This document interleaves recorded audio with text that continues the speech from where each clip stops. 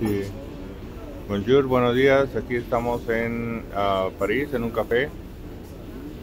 Y uh, tomando el breakfast, el desayuno, con Ana. Ahora es eh, viernes 22 de noviembre del 2019. Eso este es un small breakfast estilo francés. Ok, say hello. ok, bye.